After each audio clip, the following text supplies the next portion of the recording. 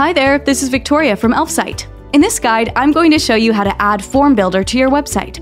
It's only going to take a couple of minutes, and you don't need any specific skills to do it. First of all, let's go to elfsight.com and choose the Form Builder widget in the menu list. Click Create Widget. You can find the direct link in the video description. So, let's create your widget.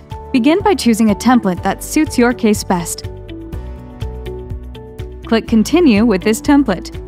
To create your form, add and customize the fields you need on the Form tab. Then, enter the email to send the forms to On Mail tab. That's it! Your widget is ready! Also, you can check the Settings tab to adjust layout, size, colors, and fonts. Click Join to install to add the widget to your website. Log in or sign up to Elfsight Apps. This is free, no credit card required.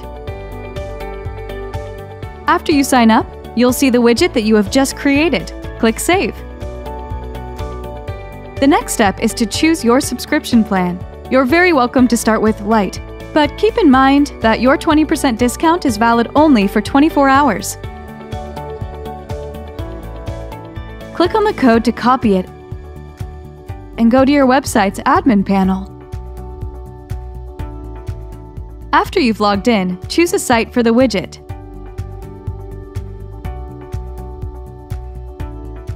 Click Edit next to the place where you need to display the widget and add a code block.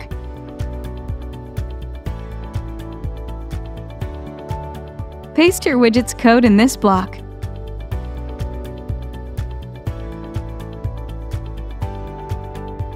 Save your changes. Go to the page to check your widget. This is how easy it is. But if anything goes wrong at any stage, message us at support at elfsight.com.